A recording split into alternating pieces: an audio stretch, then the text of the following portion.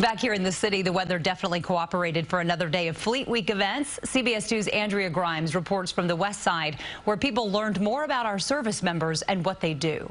A steady stream of people have poured through the USS Intrepid and Pier 86 today, learning about the U.S. military and saying thank you on this Memorial Day weekend. I think this was a really fun year and to see all the um, ships and everything.